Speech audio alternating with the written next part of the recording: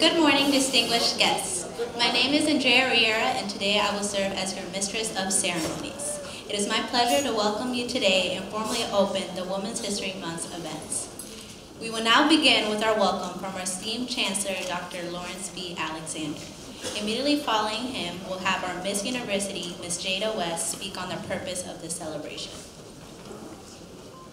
Good morning. Good morning. I said good morning. Good morning. Yeah, so happy to see all of you here this morning. Welcome to Women's History Month celebration here at the, here at the University of Arkansas at Pine Bluff.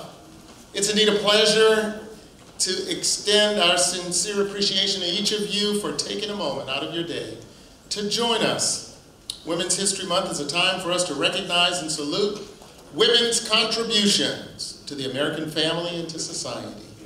Women have been making these contributions since, well, since the beginning of time.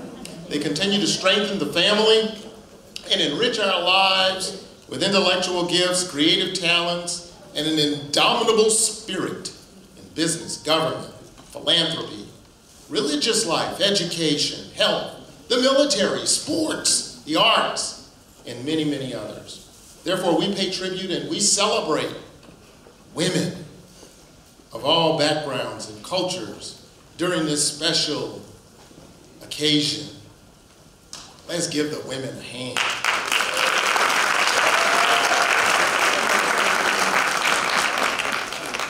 We are so pleased and honored to have with us today Republican strategist and commentator, Mrs. Ana Navarro, as our keynote speaker. She's one of the leading Hispanic Republican political voices in the United States. Political commentator on CNN, ABC, and Telemundo.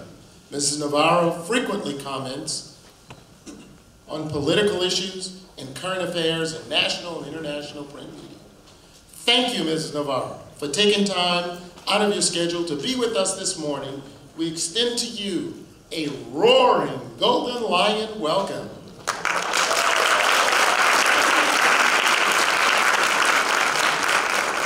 We certainly look forward to hearing you speak as you offer words of inspiration and wisdom.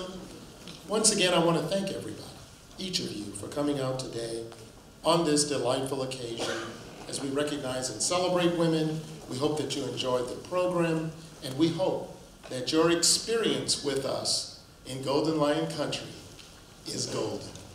Thank you so very much.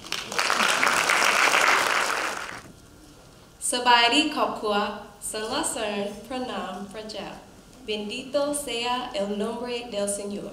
Blessed be the name of the Lord. Greetings, Golden Lion family.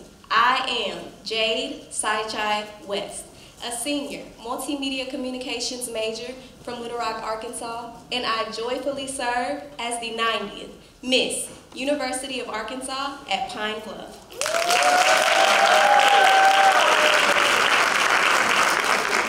On February 28, 1980, President Jimmy Carter wrote, from the first settlers who came to our shores, from the first American Indian families who befriended them, men and women, have worked together to build this nation. Too often, the women were unsung, and sometimes their contributions went unnoticed. These words, part of his message establishing the first Women's History Week in 1980, marked the beginning of a new chapter in American history, one in which recognition of women and their work and the promotion of their rights became a more explicit concern. That initial effort was expanded in 1987 when March was designated as Women's History Month. In 1978, in California, the Education Task Force of the Sonoma County Commission on the Status of Women began a Women's History Week celebration. The week was chosen to coincide with International Women's Day, March 8. In 1987, at the request of the National Women's History Project, Congress expanded the week to a month and the U.S. Congress has issued a resolution every year since then with wide support for Women's History Month. The U.S. President has issued each year a proclamation of Women's History Month. To further extend the inclusion of women's history in the history curriculum and in everyday consciousness of history, the President's Commission on the Celebration of Women in History in America met through the 1990s. One result has been the effort toward establishing a National Museum of Human Women's History for the Washington, D.C. area, where it would join other museums such as the American History Museum. The purpose of Women's History Month is to increase consciousness and knowledge of women's history, to take one month of the year to remember the contributions of notable and ordinary women, in hopes that the day will soon come when it's impossible to teach or learn history without remembering these contributions. Thank you. Standing in for our Student Government Association President will be Ms. Alexandria Slater, who will then immediately be followed by Ms. Amaya Fife. Good morning. I am Alexandria Slater. I am from Dumas, Arkansas, majoring in human science education, and today I will be doing the introduction of speaker of Ms. Ana Navarro. Ana Navarro is a well-known Republican strategist, political analyst for CNN and Telemundo, and a co-host of ABC's The View. Ana speaks the truth and is willing to speak the truth to power without reservation. She has the ear of lots of elected officials. And Republican consultant Brett, O'Donnell. She is in touch with the political issues people are talking about, and in presentation, she discusses the latest hot button issues in, in politics, giving audiences and an insider's view of the upcoming elections and roadmap where the country is headed. Navarro most recently served as National Hispanic Co-Chair for Governor Jon Huntsman's 2012 campaign and the National Co-Chair of John McCain's Hispanic Co-Chair Hispanic Advisory Council in 2008, where she was also the National Surrogate for the McCain 2008 campaign. She has played a role in several federal and state races in Florida. She served on Governor John, she served on Governor Jeb Bush's transition team in 1998 and was his first director of immigration policy in the executive office of the governor. Navarro is a graduate of the University of Miami. In 1993, she obtained her bachelor's in Latin American Studies and Political Science.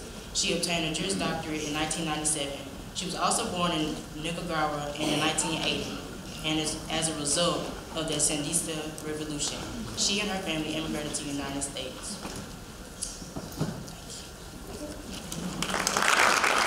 Morning. Good morning My name is Amaya Fife. I'm a graduating senior at the university. And, and I will be representing the Vesper Choir. Um, I'm going to sing a spiritual. I'm going to sing Precious Lord. So. Precious Lord,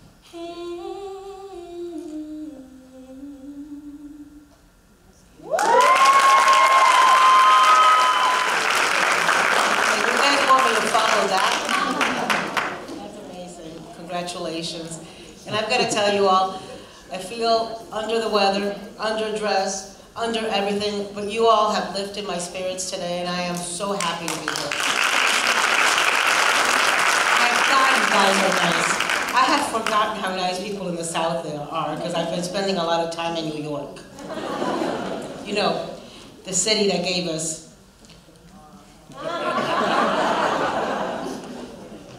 Whoopi Goldberg calls him the guy in the White House. I call him President Loco. But lately I like to call him President Impeached Loco. Um,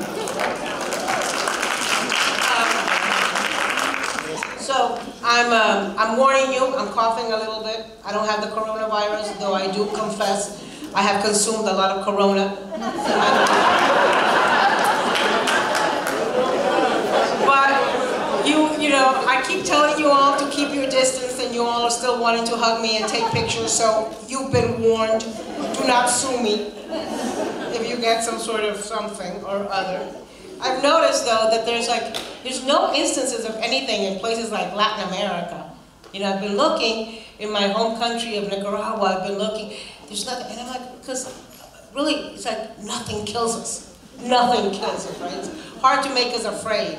But on a serious note, first, you know, they, they wanted me to, um, the organizers of this, and I, I really can't thank you enough. Oh my God, you all look so pretty. You're so dressed up and beautiful. But I, um, they, they wanted me to give a speech and then take questions, but since I've come to this campus, I feel like I'm, a, I'm with family. And the questions I've gotten from everybody, from the students, from the police officer, from everybody, have been so poignant and so good that the last thing I want is to talk to you, I want to talk with you. So I, I'm just going to speak very shortly and then open it up to questions. And you can ask me about any damn thing you have in your mind. I will, I am who I am, I'm blunt, I'll tell you the truth. You want to talk about Whoopi Goldberg, we can talk about Whoopi Goldberg. You want to talk about he whose name shall not be mentioned, we can talk about him too. Only thing I will not talk about is my weight. For which I also blame Trump. Have you all seen my Twitter profile picture? I swear I had a waist once. Now I've got so many chins I've stopped counting. But, um, so let me just say a few things before opening it up to questions and start thinking about anything you want to ask. And really, politics, work-life balance, anything you want to ask, I'm, I'm game for. Thank you, thank you, thank you for having me here. In the midst of so, so much going on, thank you for showing up uh, this morning to, to listen. And, you know, in February we celebrated Black History Month. Now it's March, and it's Women's History Month. And you'll always find people complaining about it. Why do blacks need their own month? Why do Hispanics need their own month? Actually, Hispanics, since we're always late, we get two months because we get there, we're like halfway into September and halfway into October because it takes us 15 days to figure it out in September. You know, but why do women get their own month? Well, you know, that's racism. That's reverse racism. That's identity politics. Why can't white men have their own month? Well, the reason groups like ours have their own history month is because for far too long, our history, our truth, our stories, our contributions, our richness, what we have done, what we have accomplished has been misrepresented, has been ignored, or has been erased from history. That's why we have our month. To highlight that which for far too long has not been part of the history books. And the reason there is no White Men's History Month is because every damn day in America is White Men's History Day. And look, I'm all about equal opportunity. So if, if Trump supporters want to have an Orange Man History Month, I'm good with that. And before we continue, I want to, you can laugh. I want to talk more specifically about, about three things, which you're going to hear a lot. And you're going to hear a lot as the campaigns get, um, you know, we, as, as the campaigns climax and the political season gets even crazier, which is hard to imagine. But, you know, I want to talk about the word diversity. I want to talk about the need for representation and the so-called term identity politics.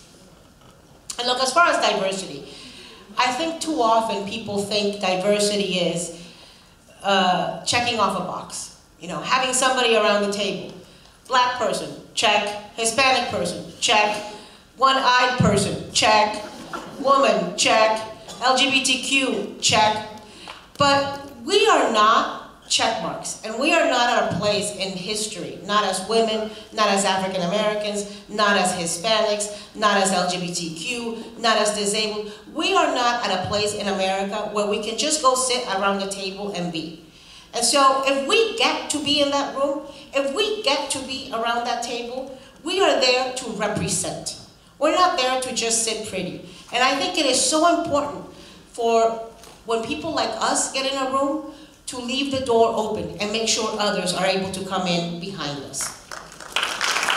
We cannot afford to suffer from the crab syndrome. We just can't.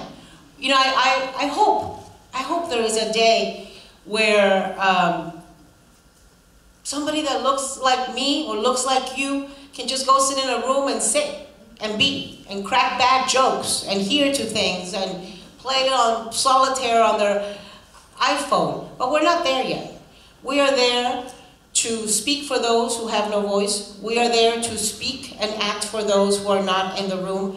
And so that to me is diversity. And if diversity means shaking up the boat, if diversity means making people uncomfortable, if diversity means bringing up issues that others don't want brought up because it's awkward or because they want to avoid it or pretend it's not there, well, that's why we are there to be that voice and to speak about those issues. The other thing I wanted to talk about was representation. You know, I, I often get asked, why do you make such a big deal? Why do you always have to talk about all the women on the stage? Why can't you just treat them like if they were other candidates? Well, because for 200 years we haven't seen a stage that looks like that. Because when Barack Obama bends over and a little black boy touches his head, and can tell that his hair is just like his, it matters. When a little girl can look and see a Ruth Bader Ginsburg or a Elena Kagan or a Sonia Sotomayor dressed in judge's robes sitting on the Supreme Court, it matters. It inspires youth.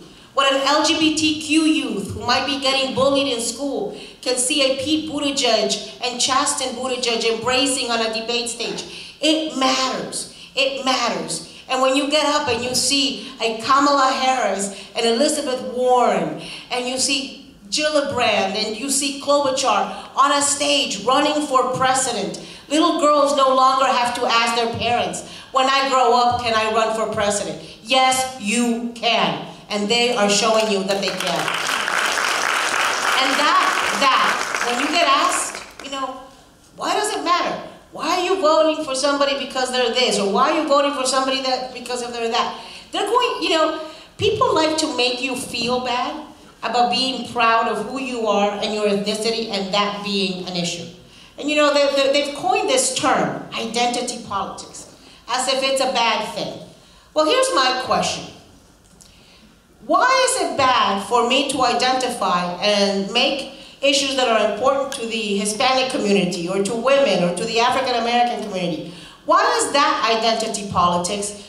But um, voting for somebody because they're going to place somebody in the Supreme Court that's a conservative, why isn't that identity? Why isn't uh, voting for somebody who's going to lower the tax rates? Why isn't that identity? Why is it just my skin color or my ethnicity or my gender that qualifies as identity?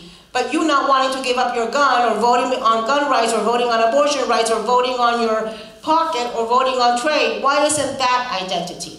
So you know what? If you want to accuse me of identity politics, hell yes, I vote on identity politics. Because I vote for people who represent my needs and my priorities, and I am not embarrassed to admit that. And neither should you. I'm coughing so bad, guys. I'm sorry. If I start screaming too much, you're going to have to get me out of here on a stretcher. And somebody, you know, somebody asked me today about how do we know we're making a difference and how do you know, you know, one person can do something? And, and I started thinking about the Women's March. You guys remember that the day after the swearing in? That was started by a housewife in Hawaii who went on Facebook and was so frustrated by the election results, she typed, the day after the inauguration the swearing in, I'm going to Washington I'm going to march.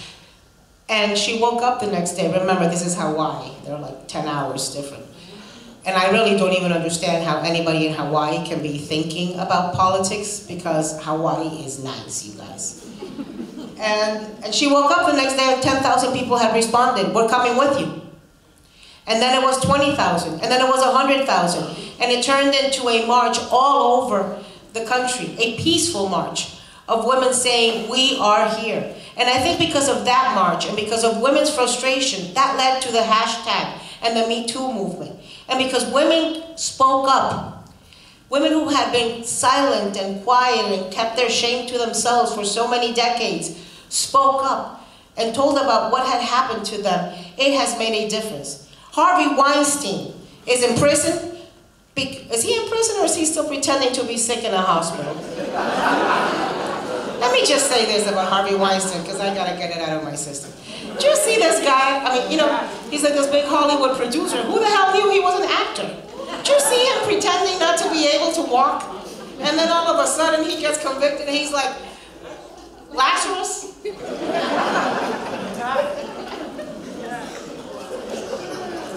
I hope he goes and finds Jesus in prison.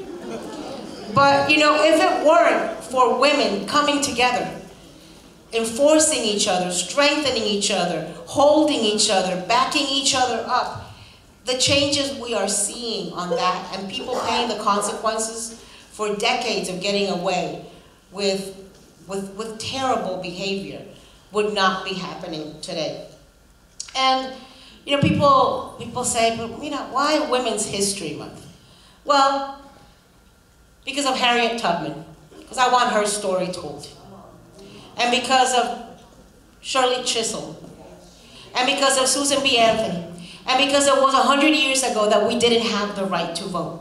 And we cannot forget that. We cannot forget that. And, you know, this is the, the last thing I'm going to say before opening it up to questions. In the last seven days, um, we have seen John Lewis get up from his sickbed. Guy's dealing with pancreatic stage four cancer. That's as tough, as tough a diagnosis and prognosis as it gets. And he got up, and he got up and he went to Selma, and he greeted people there. And he greeted people so that we could all be reminded that there was a day when we could not vote. Whether you're a woman, whether you're a black person, there was a day in America where you did not have the right to vote. And so if John Lewis can get up from his sickbed and show up in Selma, damn it, we have got to get up and show up in November. Staying home and walking away is not an option. You know, on Super Tuesday, yesterday, I was watching the clips of this man in, in Texas. Did any of you see it? Hervis Rogers? Man stood seven hours in order to vote. And he said, you know, they want me to walk away. They want me to get frustrated. They want me to get tired. Hmm. But I'm not walking away from my vote. And you know what? That's going to happen in November. It's going to happen in places like Arkansas, places like where I live in Florida. We saw it happen in Georgia. It's going to happen in places like Texas. And I bet you it's going to happen in precincts of where we live. And we can't let that happen. We can't walk away from our vote. So if that means packing a snack and wearing comfortable shoes and charging your phones and putting your iPods and bringing a book, you have got to sit there, you've got to stand there because walking away from the right to vote leads to terrible, terrible consequences. It was because there were people who didn't vote in 2016 that we ended up where we have ended up. And so, you know, there's, there's things in life which are binary choices, which are not binary choices. If you go to Starbucks, you literally can order 10 different types of milk. Presidential races are, are binary choices. It's either this choice or that choice. And if you're not voting for this one, you're voting for that one. And if you're not voting, you're voting for the one that's going to win. So staying home, staying home is not an option. Then there's people who've come before us who fought too hard, who literally lost their lives, who were beaten into pulps to give us that right. So listen, if you're sleepy today, if you're playing on your iPhone, if you don't care who I am, just listen to that one thing. Come November, please show up and do not walk away from your right to vote. Okay, and now let's move on to the questions. Who wants to ask what? Uh, my name is Leon Jones III. I'm a political science major here at the university, and I'm a junior. Uh, first and foremost, I want to thank you for everything that you've said. Um, it, it's something that we need to hear uh, more often. And second, a lot of times we hear men say things like, women's issues aren't my issues. Um, it's not my place to help out with women's issues. Or even people who say things like, I can't speak for another person because I'm not them. Um, how do you recommend that uh, we as men can use our privilege, like of being a man, to help women, to help further the cause of women's rights? Look, every man has a mother, right? You can, you, there can be a lot of things you can't have, but everybody needs a mother. And so if you have a mother, you should care about women's issues. If you have a sister, you should care about women's issues. If you have a wife, you should care about women's issues. If you have an aunt, you should definitely care about women's issues. We don't live as islands. We don't live as islands. Things like this uh, coronavirus should teach us that. You know, we, we can't isolate ourselves here from something that's happening in China or elsewhere.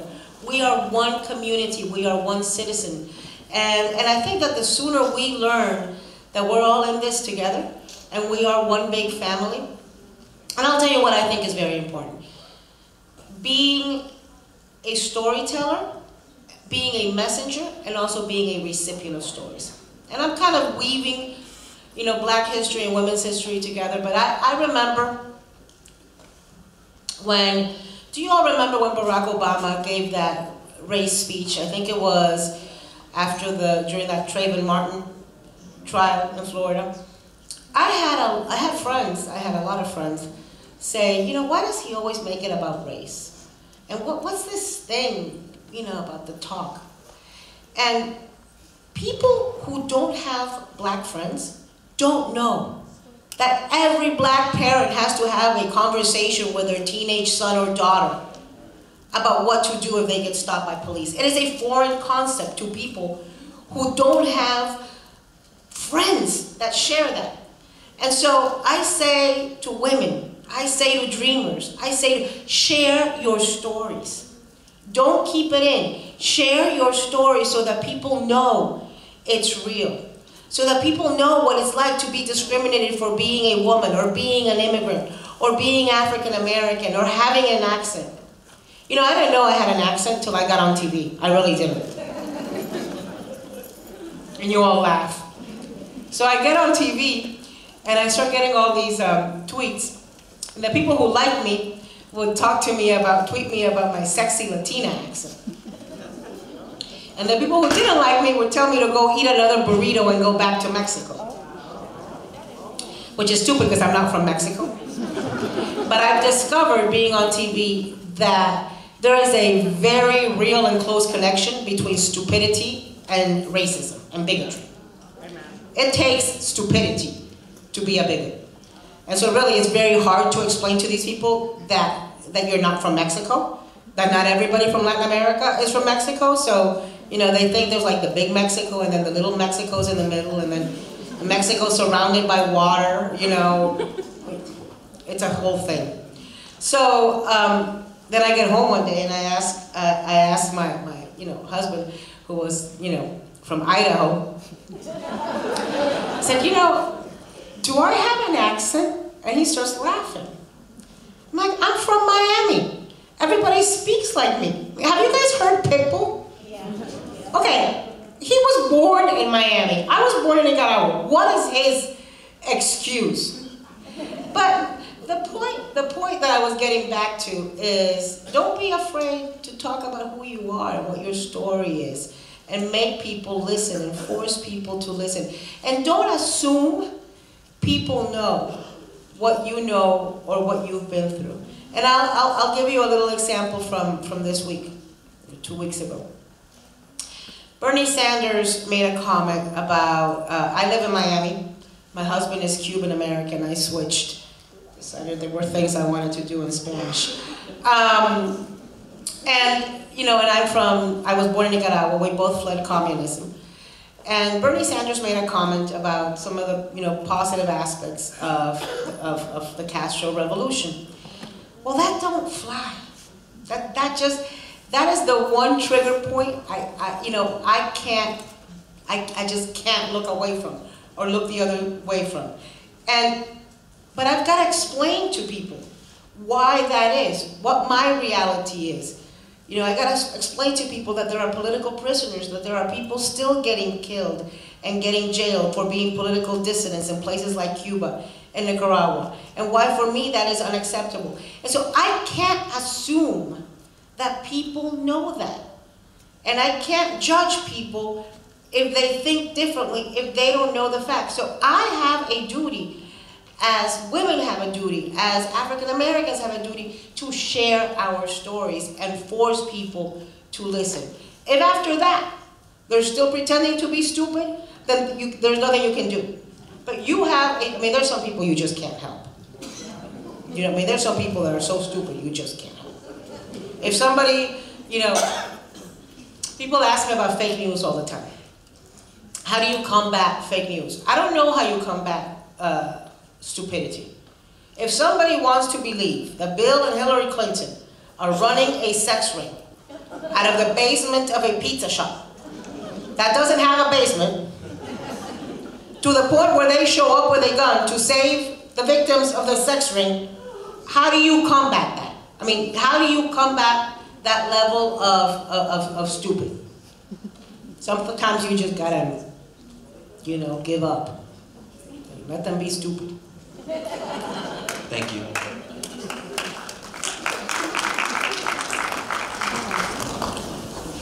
Hello, my name is James Robinson. I'm a freshman at the university, and we hear um, a lot of issues, whether on the news or in real life, about discrimination, harassment, and prejudice. What is something that you think that we can do as a society to bridge the gap between men and women, just in the workplace? I think so much has happened in the last two years. Um, and you know, and I, and I think it's because people have told their stories.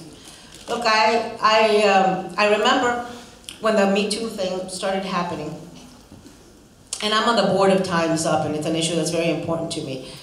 I remember uh, I was watching um, Meet the Press that, that Sunday with my husband, and there were all these powerful women, people like Elizabeth Warren, people like the senator from Hawaii, people like Amy Klobuchar talking about their sexual harassment stories. And my husband turned to me and said, have you ever been sexually harassed? I said, no. You know, too much of a badass. Who would dare harass me? And then I sat there for five minutes and I was like, oh wait, you know what? I just remembered this.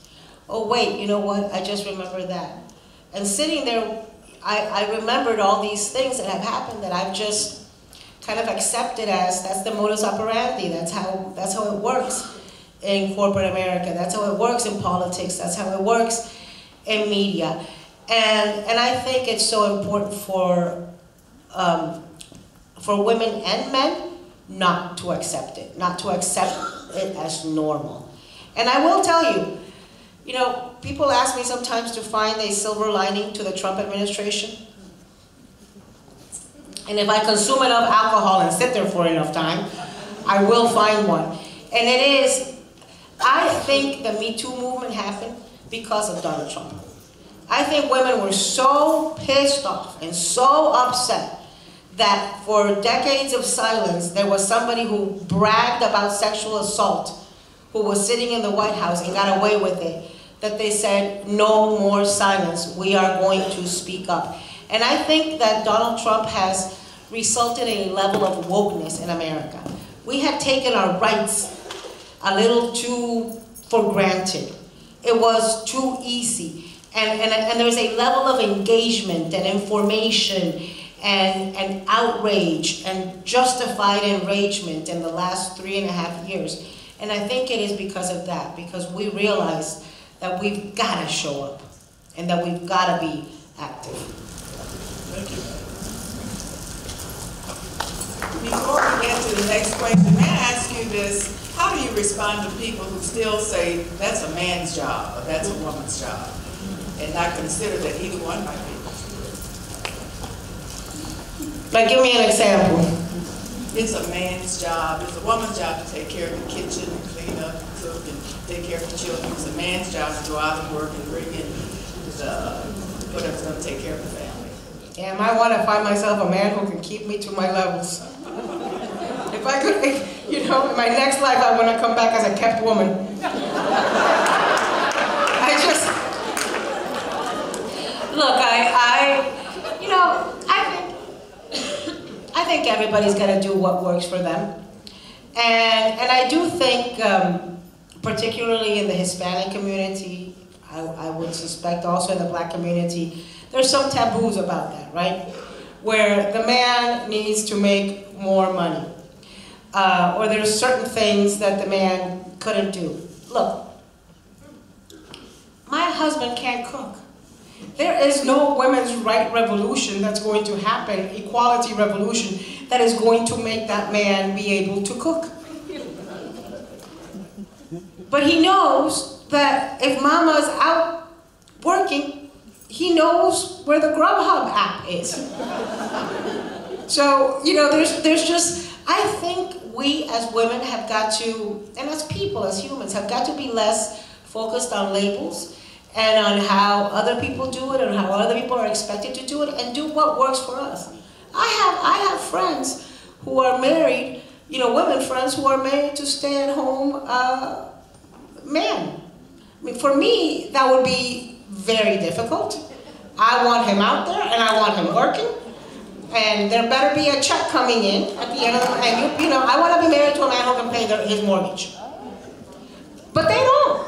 They like, you know, they are very happy married to men who tend the garden. And I can't, I, and we as women are very harsh with each other as judges. I often think that we are each other's harsh, we, we as women judge each other more harshly than other, than men judge us. And so look, if women are happy married to somebody who's making less money, great.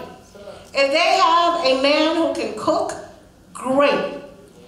I also have a lot of women friends who can't even make a peanut butter sandwich. I just gotta, I think you gotta, you gotta do you. You gotta be who you are and be comfortable with that and, and, and who cares what anybody else thinks and about traditional roles. Do what works, what works for you. Marriage and life is hard enough.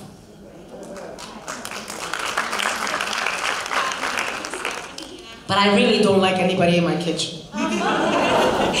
Um, hi, my name is Stephanie. I'm a freshman at the University of Arkansas. I'm a chemistry major. Um, I, I know you've been all over around the world, but I do have this question because it does happen over all over around the world. How do you react to when people not really discriminate their own culture? Like, I'm Salvadorian, and most people, you know, that are part of my culture that grew up here have different views on the political um, culture of this country. Mm. I have been all over the world, and it's, you know, it's, um, by the way, I was in Africa this summer, and I came back and I told, uh, you know, all my black friends, next time Donald Trump says go back to where you came from, you might want to take him up on it, because Africa is beautiful. Look, um, you know what's funny, when you travel, who you are, I, I, do you all know who Skip Gates is, Dr. Henry Louis Gates? So he did, he did a program on me, right? Um, he did a segment on me. And my father, like every Latin with two dimes to rub together, thinks he is a direct descendant of Spanish royalty. And so he's been obsessed with this since I was a kid. And I did it just for him. So I say yes to Skip, they send this horrible questionnaire asking everything you could possibly ask about a human being. I send back all the answers and I don't hear a peep from uh, Skip or his people for like two weeks. And I turn around to my husband and I said, I think I just gave all my personal information to the Russians. But Skip ends up doing this, and it was incredibly poignant and, and, and so meaningful. And he asked me, Where are you from? And I said to him, You know, I said, What do you mean? He says, Yeah, when people ask you where you're from, what do you tell them? And I said, Well, where I'm from depends on where I am. So if I'm in Arkansas and you ask me, I'm from Florida. If I'm in Florida and you ask me, I'm from Miami. If I'm in Miami and you ask me, I'm from Nicaragua. If I'm in Nicaragua and you ask me, I'm in, from Chinandega. If I'm in Africa and you ask me, I'm from the United States. And so I think, you know, I think who we are is so dependent on, on, on the circumstances around us and, and where we are. And you're right. You and I know, you know, I'm from Nicaragua, you're from El Salvador. The shadeism amongst Hispanics is fierce. It's fierce. And the difference between, you know, some, sometimes I'm, I'm um, you know, I'm, I'm places and somebody will say to me, oh, but you don't look Nicaraguan. And I'll be like, because what does a Nicaraguan look like? You want me in a loincloth hanging from a rope on a tree? What, I mean, what, what does a Nicaraguan look like? And they, you know, they won't, they, they, they then don't go that, that extra mile. So I think in life you're going to get challenged for your beliefs all the time. And you're going to question yourself sometimes. And that's normal. And to evolve is normal. There's issues on which I've, uh, I've evolved or changed my mind. And I think it's really important, particularly when you're in college, to really figure out who you are and what you believe in so that when you get challenged, you know what your convictions and your principles and your ideology and your values are and you can and you can stick to them without compromising and without uh, feeling bullied or feeling peer pressured. So, you know, if you are the one person in the room who thinks, uh, you know, climate change is a Chinese hoax. Well, you wouldn't because you're a chemistry major, so you actually know science. But, you know, if, if that's what you want to believe and if that's who you are, embrace your stupid. You know, but you have to be very comfortable and very self-confident in your own in your own voice. My name is Gabrielle Williams. I'm a graduating senior majoring in political science. And my question for you is, um, how do we change the narrative as women in abortion rights when there's white men making those policies?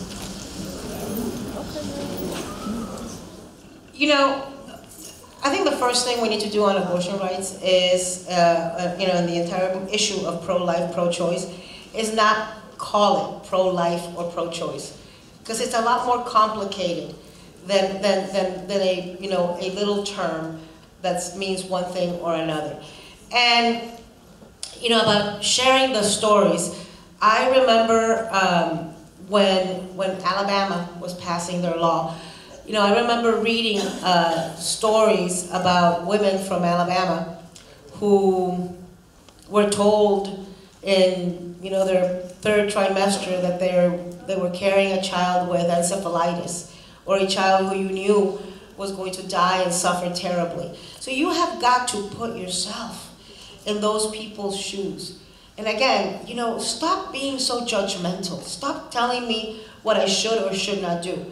My views are, are colored. I have a friend, uh, I have a brother who is um, severely mentally disabled, who's severely, uh, you know, he's, he's 54 years old and he's got the mental and motor skills of a 12-month-old um, baby. And, you know, and I know what it does to a family. I know, you know, that my parents worry on a daily basis what happens to him when we die? Who do we leave this responsibility to? Who will take care of my child?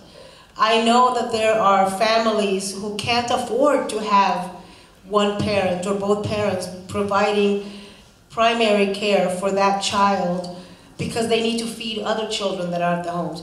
So those stories need to be told because it is complex. It is complex. And, and you know, and as far as men telling us what to do, have you noticed how many of these men, when they find out their mistresses or their baby daughters are pregnant, change their minds real quick? Some of them were in Congress. When that came out, I had to leave.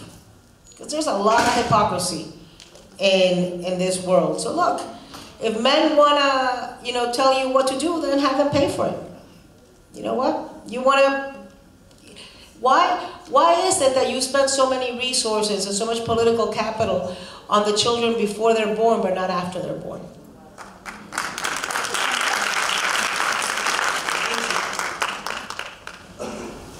Hi, my name is Van Steiner. I'm a freshman political science. I'm a freshman political science major. I'd like to thank you for coming here today. My question is, as a spokesperson for your community, how do you distinguish and reconcile being a promulgator for your community versus your words and taking and applied to the Hispanic community um, as if they're a monolith? I don't consider myself a spokesperson for my community because my community is very diverse. I speak my truth. I speak about who I am. And if you agree, you agree, and if you disagree, you disagree. If you feel represented, I'm really happy that you do. If you feel misrepresented, then I'm not speaking for you. I think, I think too often people think the Hispanic community, the black community, women, you know, that we are voting blocks and monoliths that, that think the same and, and look the same and talk the same, and, and we're not, right? We're not. Look, the, the Latinos in Texas just voted big time for Bernie. I assure you, in two weeks, you're going to see the Hispanics in Florida say, hell no. We are not going to be faced with a choice between a racist and a socialist. We'll take the other old white man. Thank you. Can you believe we started this race with, you know, black people, women, all sorts of things, and we end up with old white people? Old white men, straight. One who hasn't combed his hair in 40 years, one who has no hair, but is pretending. Well, two who have no hair. Whatever. Go ahead. I'm Patrick Knight, a freshman mathematics major here at the university, and my question is, how have you as a woman dealt with uh, white women in uh, your line of work and understanding the issues that come in uh, other races of women, Hispanic, instead of just focusing on the advancement of white women as far as women's rights go? Mm. Mm, mm, mm. You have watched The View, right? um, look.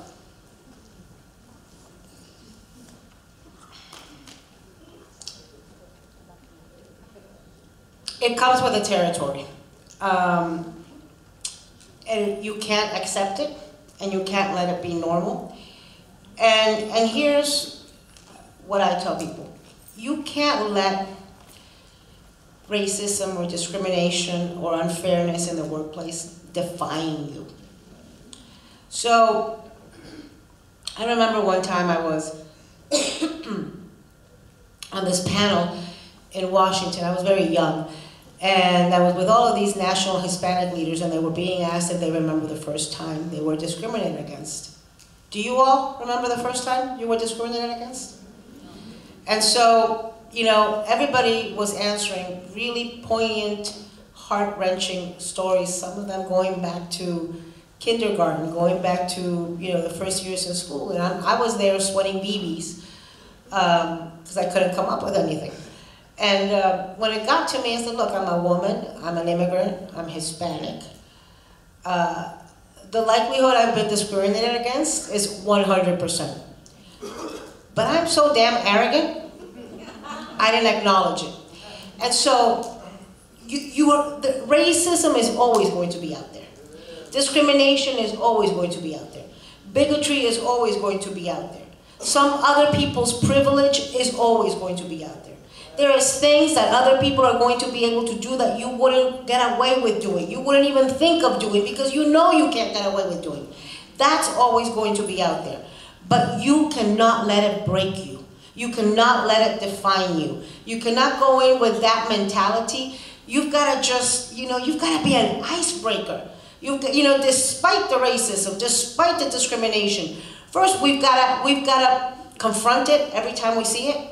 Uh, you know, I, I, I think, I tell, I tell my, you know, my like Latino leadership friends, national Latino leadership, you know, Donald Trump had a hit TV show on NBC for several years.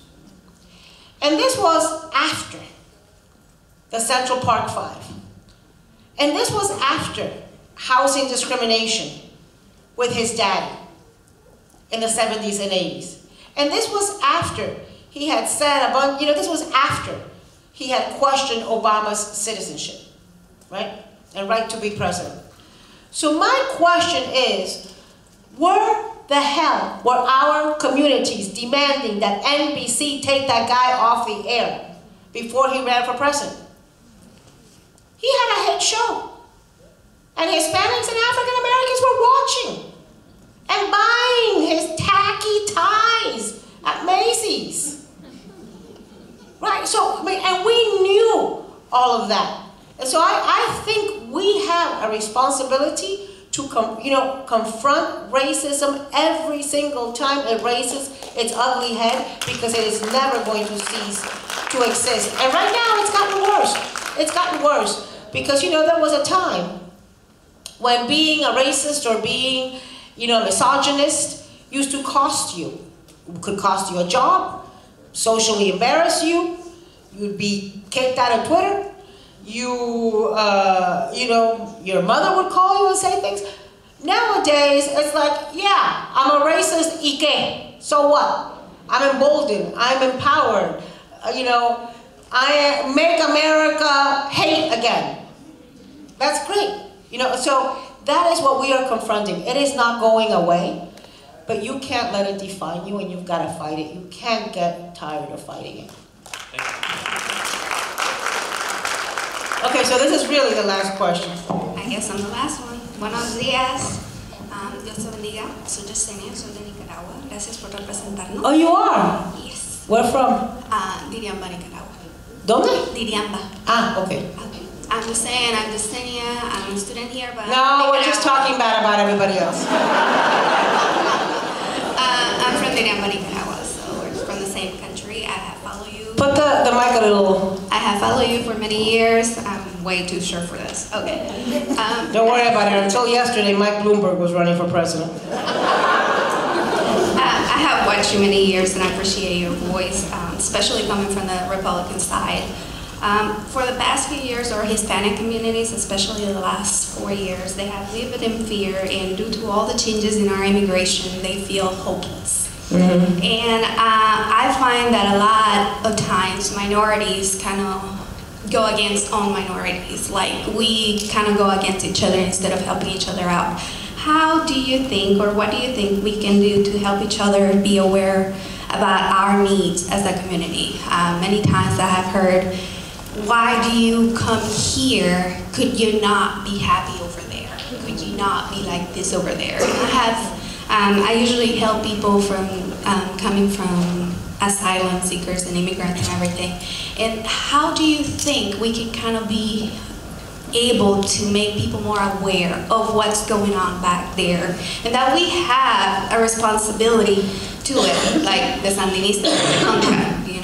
Look, anybody, uh, anytime anybody asks you, why are you here? Why'd you leave there? Ask them, well, why'd you? Right? Because unless you, you literally are Pocahontas' descendant, you came here too.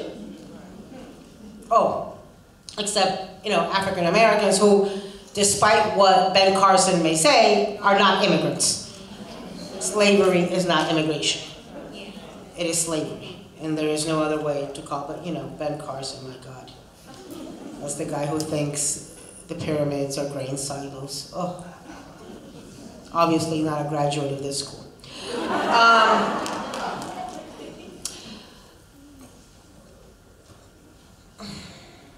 there is so the, the, the problem. Look, the problem. One of the big problems that I see with Trump is that he's used immigration as a way of pitting us against each other and demonizing folks. You know, yesterday, did any of you see that Schumer got admonished by the uh, by John Roberts of the Supreme Court because he made these statements against the two conservative judges? And I don't like the, the statements that Schumer made. I don't think they are acceptable.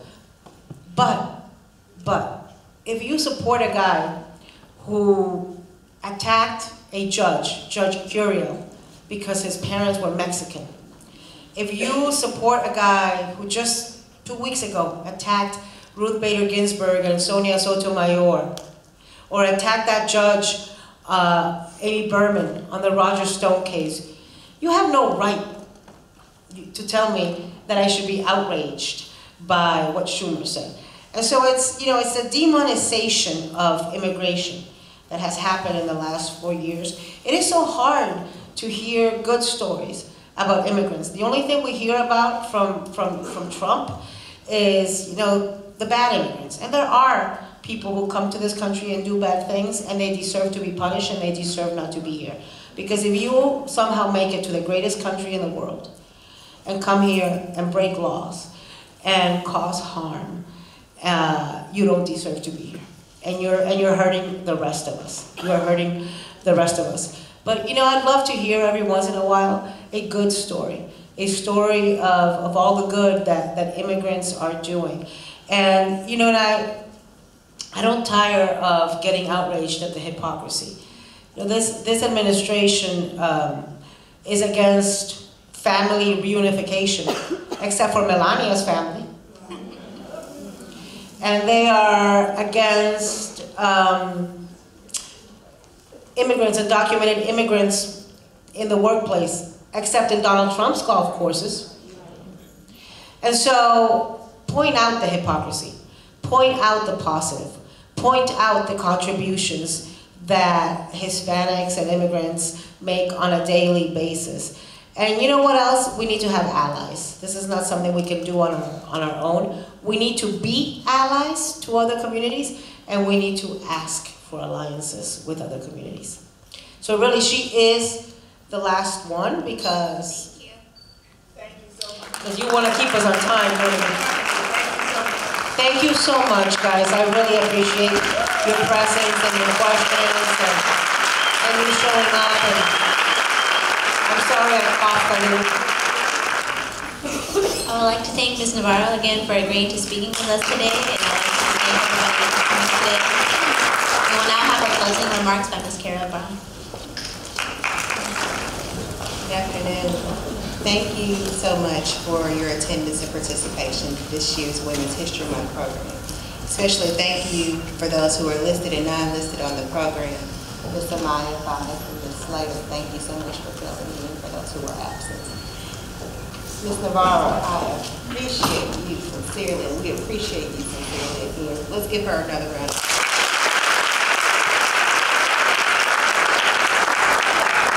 of Arkansas at Pine Bluff, we would thank you. and- This